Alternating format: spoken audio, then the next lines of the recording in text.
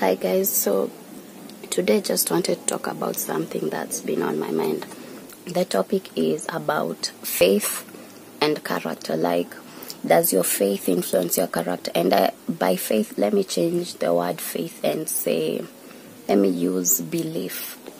Does what you believe in really influence your character? And my, this is my perspective because uh, I used to catch feelings when people used to attack like my faith because of something that's based on my character.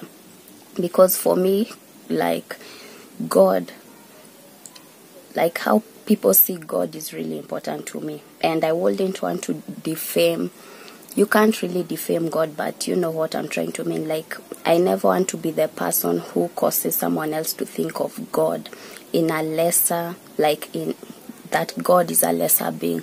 So, without with that said, I've realized that most of the times I used to catch feelings when people used to attack my faith based on my character or if not based on my character, based on just, you know, me being who I am.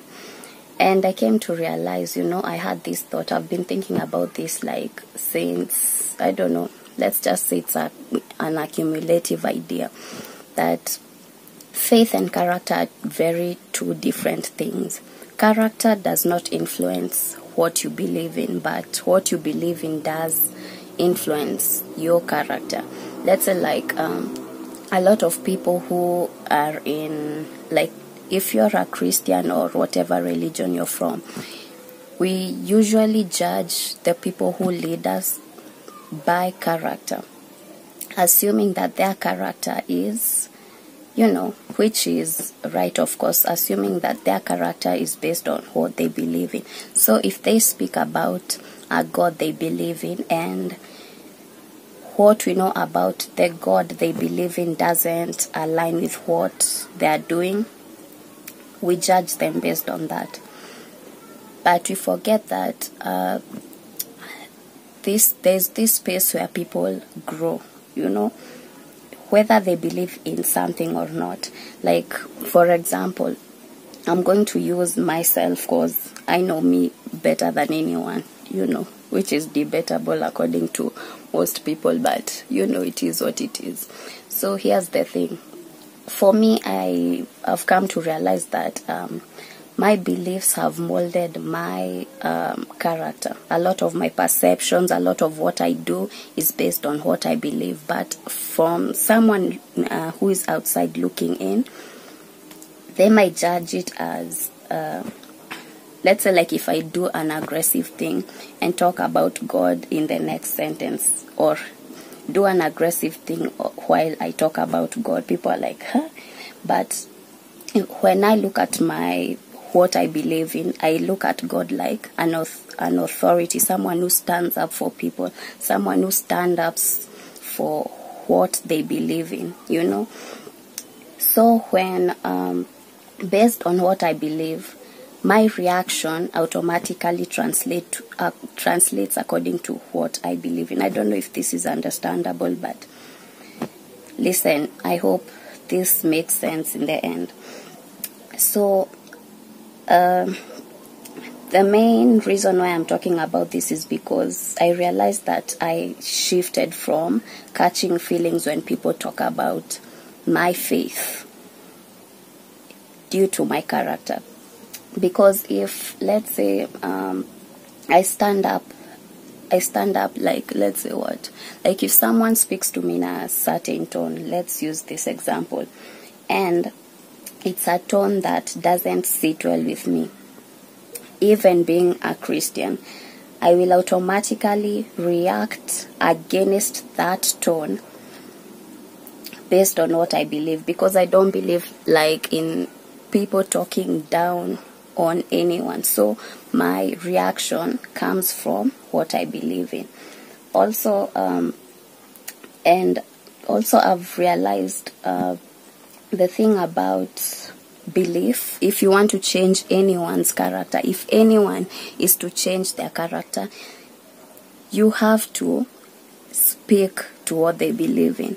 And it's what politicians do, it's what uh, slanderers and gossipers do, it's what you know we do you know whether based on faith or based on experience or backgrounds or on the vision we have of the future. We usually speak to the belief. Then the belief translates to the character because there is no way you can change anyone's character without speaking to their belief. When you shift what they believe in you shift how they react to things and how they behave and to prove this, try doing, no, don't try this because it's not a really nice thing to do.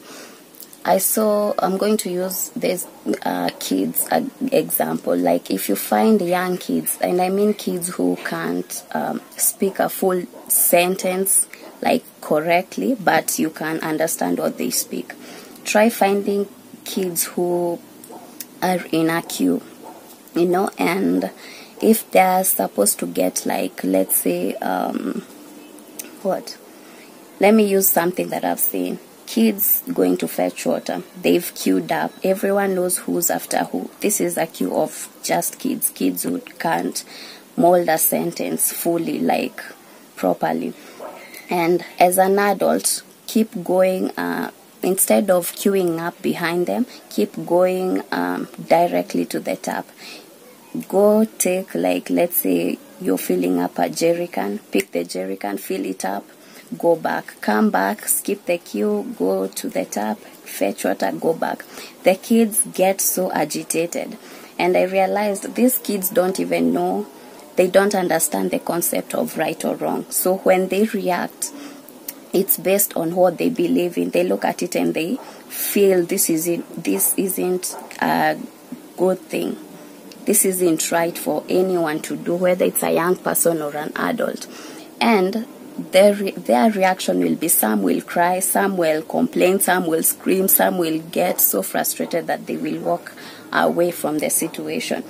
And looking at that uh, perspective, a lot of uh, we forget that as adults we're just, you know, Michael Todd said it best. Adults are just kids who are grown up meaning that the concept of belief is still the same.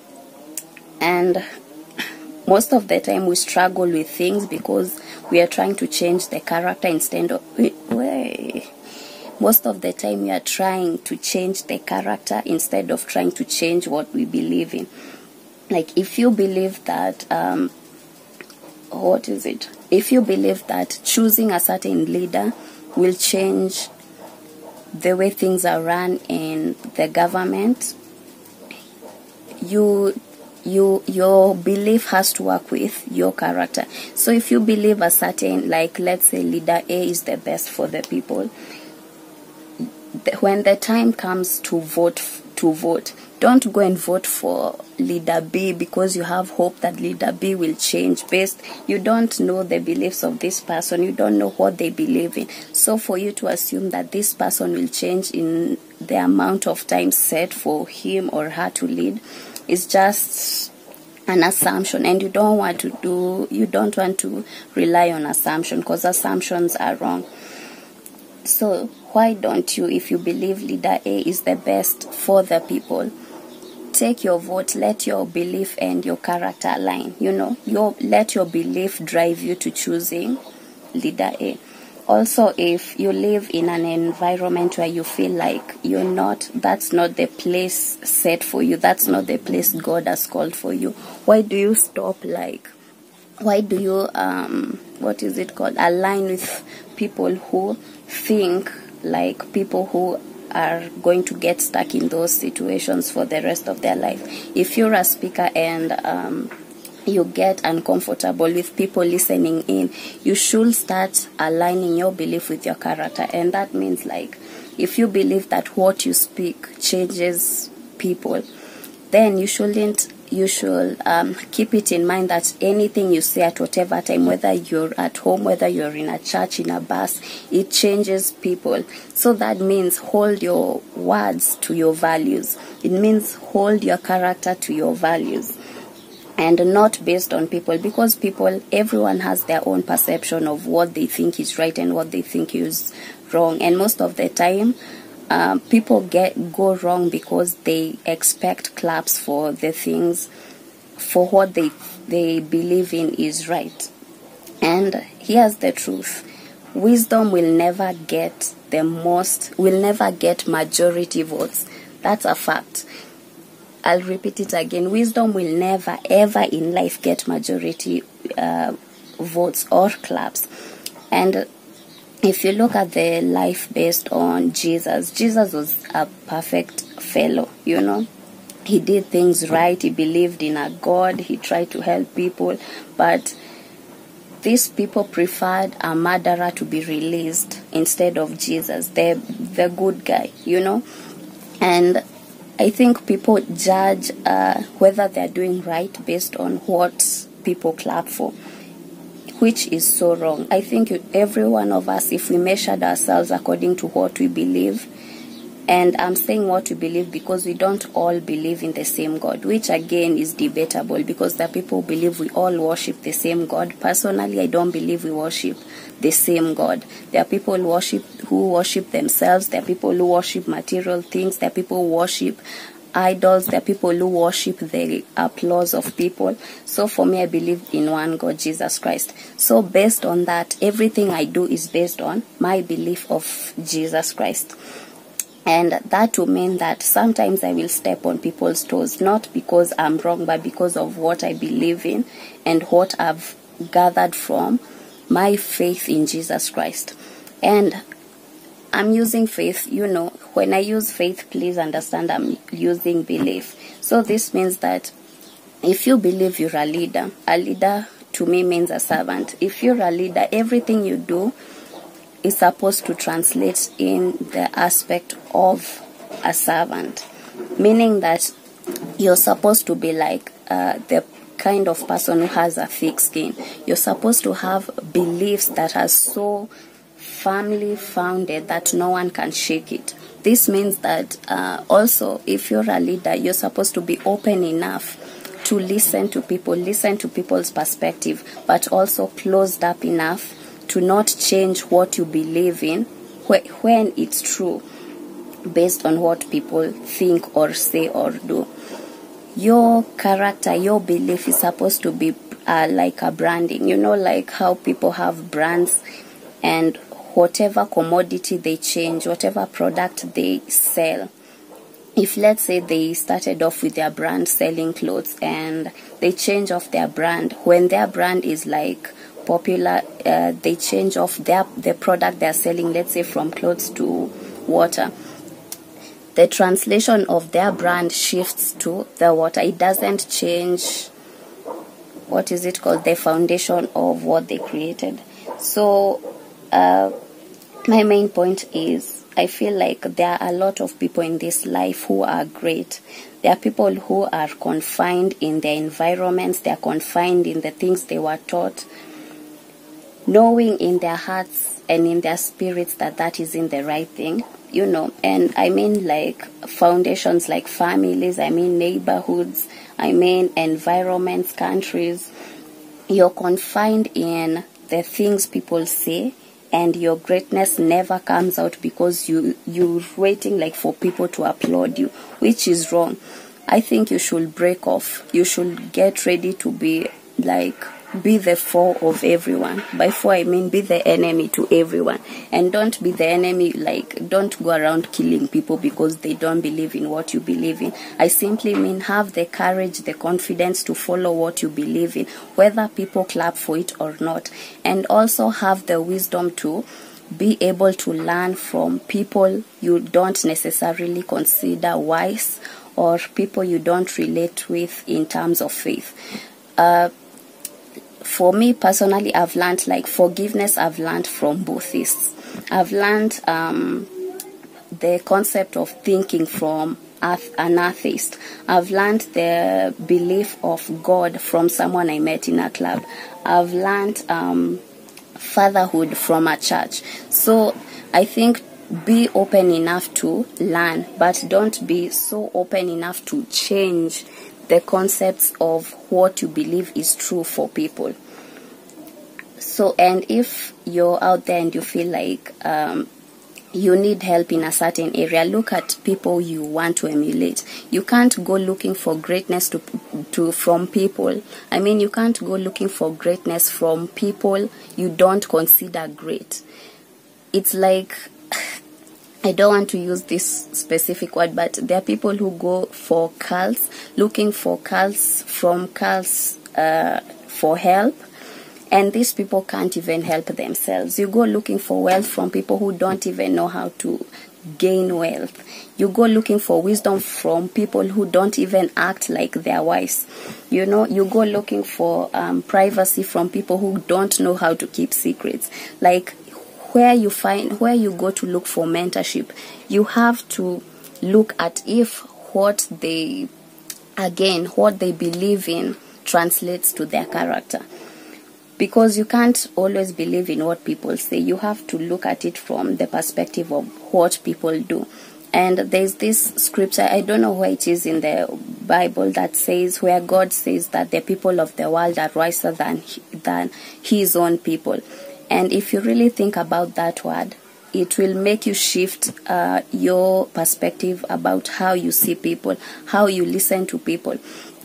Because um, and also this other scripture about how God frustrates the minds of the wise. So don't always expect wise things from wise people. Don't always expect, um, let's say what, like most people don't listen to the wi- wisdom when it comes from a poor person. Why? Because they judge wisdom from a perspective of wealth, which is not true. Wisdom and wealth have the same power, but it's not the same thing. It doesn't translate to the same thing. Wealth can Wealth does not have power to change character, but wisdom has the power to change character and gain wealth. You, I hope you get my drift. So be open enough to listen to people. Sometimes even your own enemy can say something that is wise.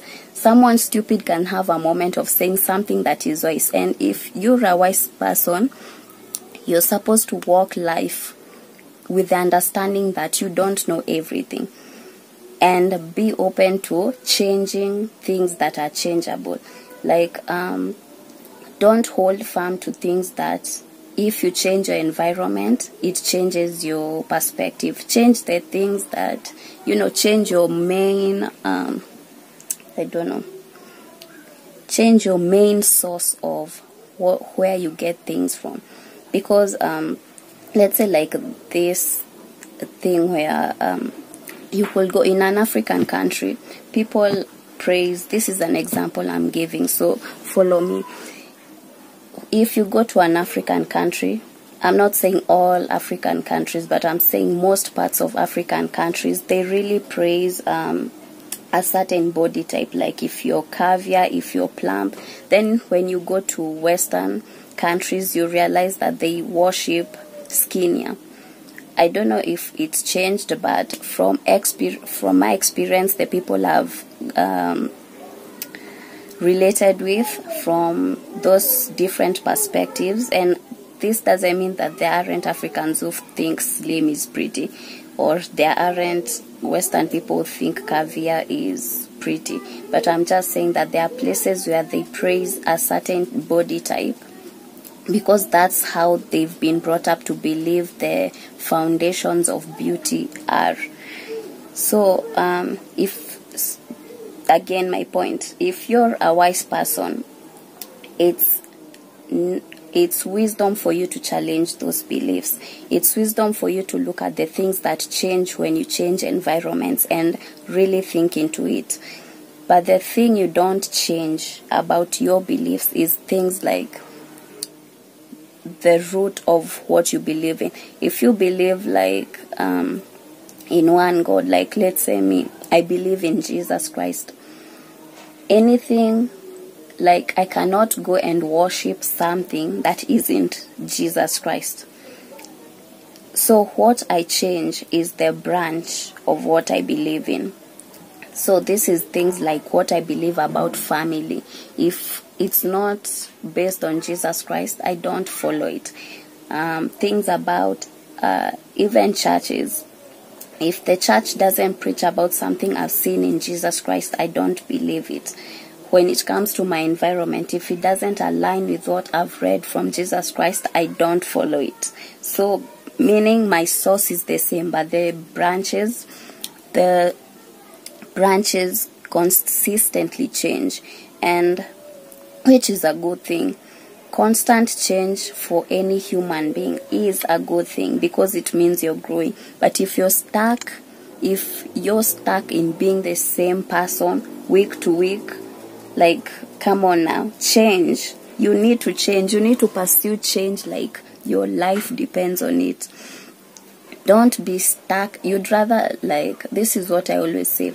I'd rather be the type of person who sits alone and changes by myself than be the type of person who hangs out uh, in crowds and gets stuck in being the same person. You wake up and you don't find your beliefs being challenged. There are no questions um, placed in you to ask.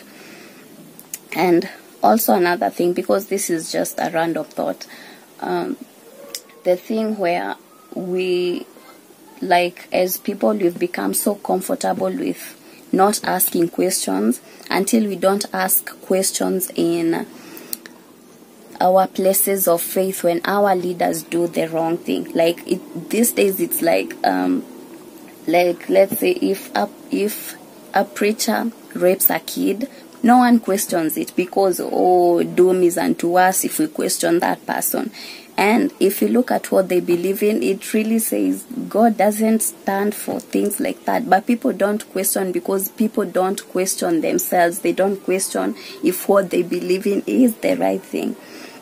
So I feel like um, the greatest challenge in life is to always question yourself. Jesus was a perfect, you know, if you read the word of God, it says Jesus was the perfect man. He still is.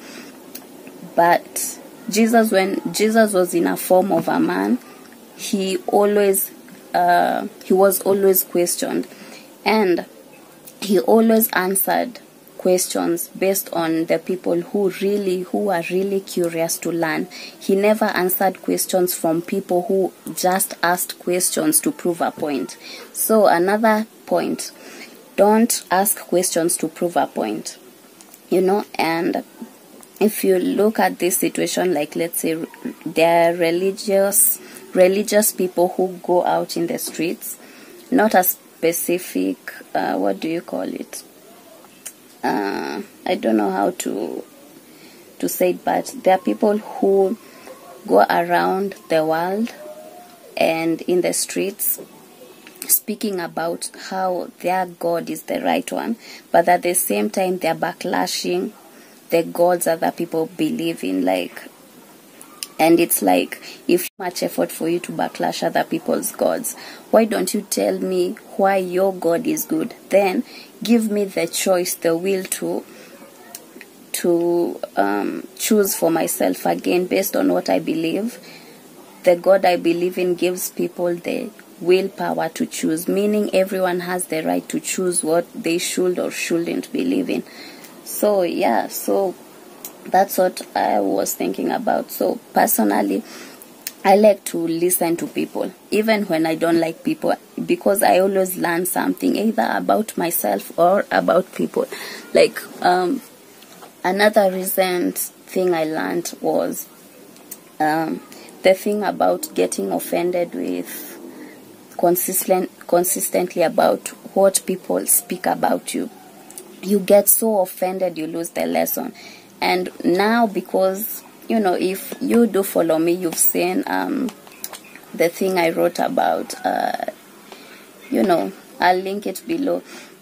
And it came from a perspective of change. I asked myself why why does this bother me? And why do i you know follow the same pattern the same formulas of solving this same problem? And there's this quote that goes around that madness is doing the same thing, hoping for uh, a different result. So I decided to change my pattern, my formula of handling it. So now I take I take it like in that situation. I took it and used it in one of um, again I'll link the I link it below in the description box. So you use it as motivation. Use what people say as motivation. Um, be open to wisdom wherever it comes from. Choose, um, let your faith, um, your beliefs align with your character. Don't just do it for people. Don't just do it because people approve. Because people approve for the craziest things. People approve, you know, like if you look at our times, people used to, um, it used to be an abomination for people to sleep around. Now people applaud it. So if you base your foundations on people, you're going to get lost. You're going to be confused about what you believe in. Base your um, belief system, your source on something that doesn't change, you know, whatever season it is. And, you know, if you really think about it, there is a reason why we're placed in this world by a God who can do anything, but He doesn't do everything for us. Like, for example, like um, this God who can do anything, He doesn't uh, keep us from, He doesn't keep everyone from floods. What if it's a test? What if God is testing us to see if we're aligning to the compassion He speaks to us about? What if, you know, the leaders we have who don't align with the things we believe in? What if it's a test to check if we're, if uh, the power we always speak about is the power we translate to how we choose our leaders? Um, let's say what else? In our environments we speak about greatness. What if your um, god is testing you to see if your character aligns with what you believe in? If you believe you're supposed to be in greatness and you hang around people who don't um, translate that belief you know like question yourself ask yourself questions you know god was questioned if, and if God was questioned, maybe it's time we all questioned ourselves. Question what you believe in, question who you hang around, question um, why you do the things you do, why you're passionate or aggressive about some stuff, why things bother you. You know, ask yourself questions and find the answers in who or what you believe in. Otherwise, you will be the same person from the beginning of your life to the end of your life. You don't want to die like as a person who used to follow the crowd. You don't want to die as the person who never made a difference in your life. You know, you can have all the material stuff, but if you don't change what you believe in, trust me, you'll be at the end of your life wondering what you lived for. Like, that's just an empty life. I don't know if everyone cares about, you know, I don't want to assume everyone cares about the things I care about, but I feel like it's important for us to find something that's worth dying for. Like if today was your last day, you will look back at it and think, wow, I just like I lived my best life. I lived for things that really matter to me, not things that matter to us, because us is really relative. Us changes all the time. So let's live according to that. Because all these material things, and also considering it's a time where everything is uncertain during this like uh, corona times, everything is uncertain.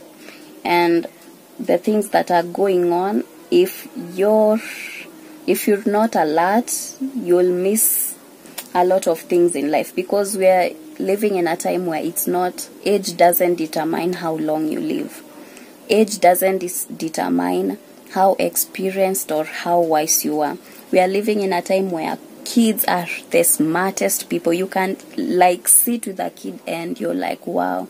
Like these kids these days they have so much wisdom so much knowledge. They have so much understanding and compassion and you look at people who are supposed to have all these things and they don't. So it's like a it's like i don't like living by the principle of life is short. Life is short but i feel like there is an urgency of people looking deeper than just the physical stuff.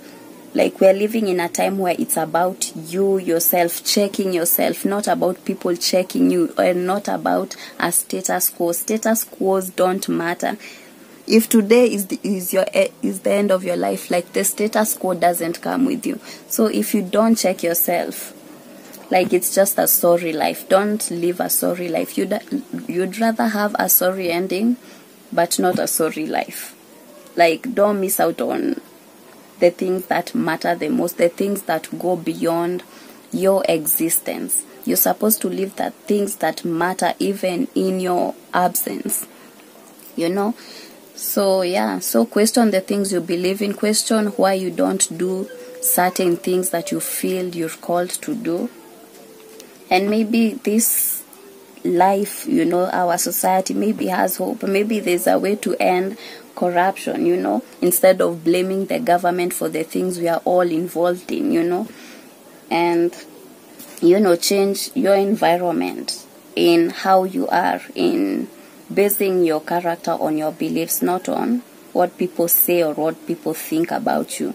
You know kill that perception. You don't need that reputation. You just need your belief your firm foundations. Anyway if um, you'd like more of this you know what to do. And thank you for your presence. Thank you for your time. And never forget that to change people's beliefs you have to be heard. Sometimes you're heard through what you do sometimes you're heard through what you say sometimes you're hard in you know voicing whatever it is you believe in in whatever form it is whether it's material or spiritual or whatever it is. And you know kill the fears. Do what you're afraid of. And i don't mean go killing people again because these days you have to clarify everything don't go around um, killing people emotionally, physically, spiritually. Like, be the builder of people. Let everything you speak come from a place of belief, not from a place of applause. Don't be the person who is led by applause. People will never help if you're just carried away by applause. They will praise you today, like um, this story of um, Paul one minute he was called uh, the devil, the next one, after a snake bit him and he didn't die, people called him a god. So base your foundations on things that don't change, that things that perceptions can't change. You know? I hope you hear what I'm saying. And if you're afraid of doing something that you feel you're called to, like you need to wake up. you need to wake up and do what you have to do. Whether it's in smallness or in greatness, whether it's in fear. Sometimes you have to do things when you're afraid of doing it, you know. The best type of growth is when you see yourself rising from a place where you did not believe in what you are doing, not in what you're doing, because obviously you have to believe in what you're doing. The best, you know, the best kinds of greatness is where you watch someone grow from nothing to greatness you know so be that type of person. Let your not your situation of nothingness be a challenge to greatness you know? And don't stop doing things because of people. Like you'd rather stop doing something because of what you believe in than what people think or you know false perceptions. Okay? So thank you for your time and your presence like, share, subscribe.